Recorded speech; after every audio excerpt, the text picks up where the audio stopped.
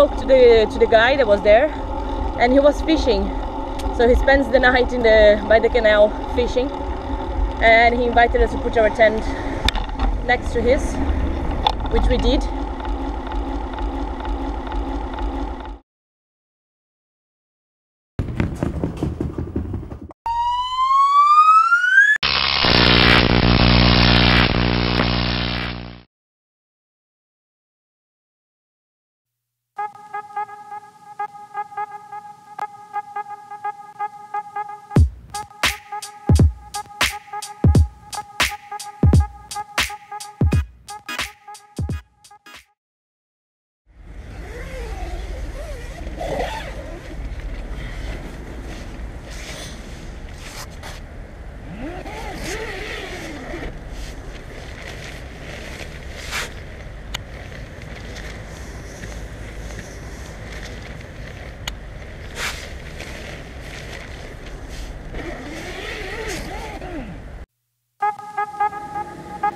It was great to have met Pietro and camped with him by the canal in the middle of Concordia Sagittaria. We absolutely loved the experience of sleeping in the middle of the town and just don't care about being judged.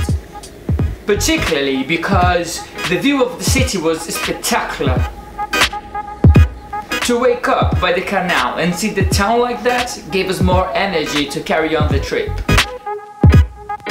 That's it. Now we are leaving. We need to get to Aquileia, which is around 70 kilometers from here. But not before telling you a secret of Tiago. Tiago is scared of dogs, and he's like his normal reaction every time he feels there is a a dog running after him. He just starts cycling faster. Regardless of our personal fears, we carried on, having fun the way we could, certainly fair. But there is always a price to pay.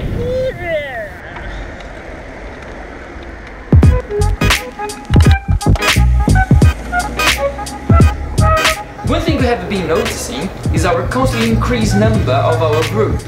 Not specifically by humans, Check it out who we found living here. A ladybug. it seems that animals enjoy our company.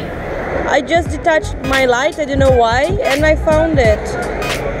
She's been living here for I don't know how long. Hello. After revealing my secret, I can't really say it's totally reciprocal. Ah, she's gone. No, she's here. She's here. With a larger group, we were to enter our fourth region of Italy. And now it's Udine. Let's see what they, what to expect from that. Excited. The Friuli Venezia Giulia is an autonomous region and it's clear quite different from the other regions. The houses and the streets are larger, even the language. And what you could already realize on our first 100 meters inside this new province is that they write everything in Italian and on their own dialect. Their dialect seemed to us more similar to Slovenian language, which was a great sign that we were close to them. You can see it's quite different, like they even have some of the signals in the Magazzino Comunale, for example, the third one. In the Comunal, they have this thing which we have in Portuguese, uh, but they don't have in Italian. So it's interesting, no? The only problem of cycling around here is that there are no cycleway anymore. Well, there are some, but for a short distance is scattered all around. So we kept going from motorway to beautiful landscapes and small towns. Every scenario was a surprise.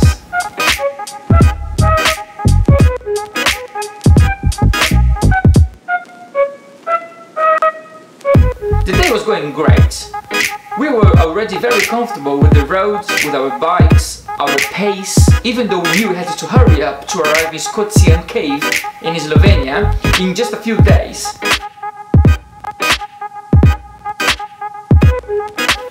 We noticed unusual decoration when you entered a small town.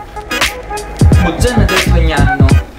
They had this white and blue decor on every house in the town. We were really puzzled and had to know why. Signore, signore, scusi, cos'è tutto questo cosa blu e bianco nella città? Ah, domani c'è la festa della Madonna, Ah, una ricorrenza. ok. Ogni paese ha la sua Madonna, domani c'è la festa Di della Madonna. questa... Di questa fazione. Ah, ok, grazie mille. Ciao. Yeah, we can't argue how religious is the entire country. Now that we are happier to know the reasons why this city is so decorated, we continue to heading towards Aquileia. Comfortable with camping, so to sleep wasn't that bother anymore. The best thing about not being too worried of where we are going to sleep is that we could appreciate better the landscape around us and particularly today when we knew Aquileia wasn't that far ahead of us and we would easily make it before sunset.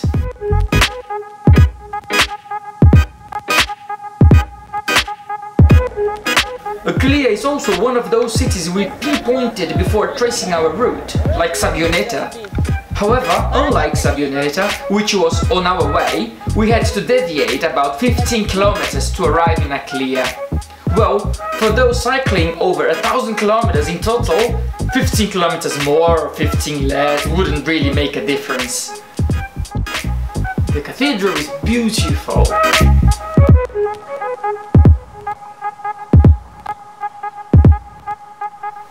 Aquileia was once a superpower city of the world.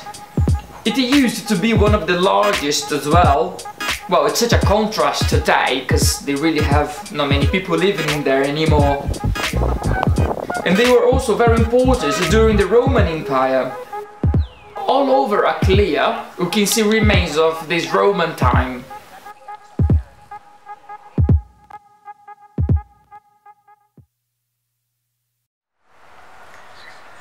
Breakfast in Italy has to be with wine and cheese. It's 9 a.m. 9 a.m. and we are having a typical Italian breakfast. That's just- not really typical, but it, for us it is. Yes. Forgive Mamma us, Italian mia. friends.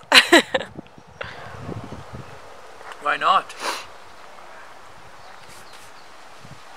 By the way, Now we're just gonna finish having our breakfast and head towards Trieste, which hopefully, now I'm sure it'll be another good surprise. Then we hit the road, but not before noticing we had again company.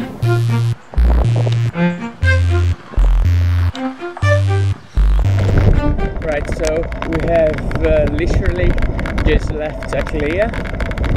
Uh, really nice, really liked, and it's nice because uh, it's not exactly on the route, but we managed to like you know go further 10 kilometers away from the from the original route only to see Aquileia, and it's totally worth it, you know. By the way, this region they have massive houses.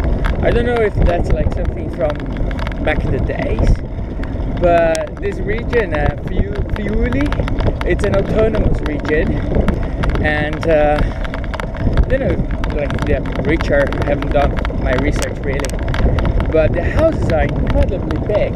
So this seems to be really wealthy.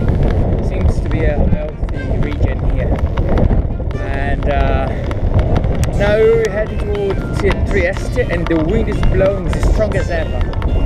And somehow always against it. If we go down, north, east, west, it's always against us. But here we go. Uh, I don't know if you guys can feel it, but the wind is pushing us back. Like seriously. Sometimes you just like going on a bike and it comes.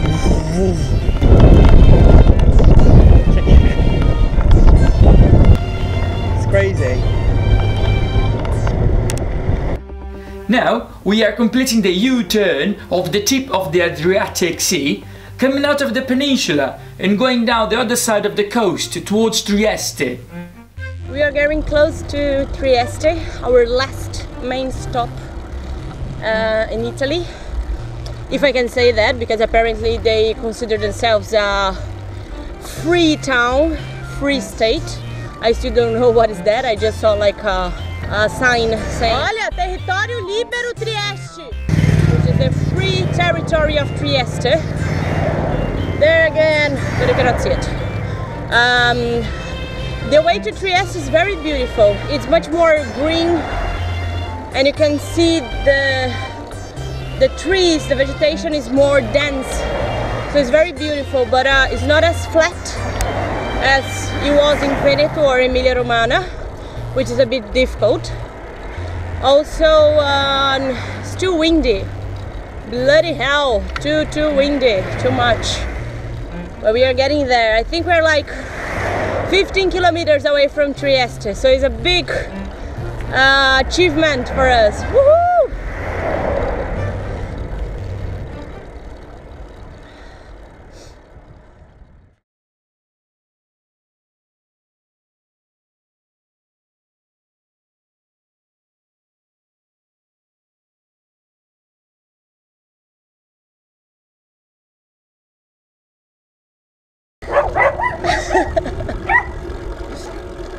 Aí tá aberto, Ti! I tried to scare Ginny, didn't work.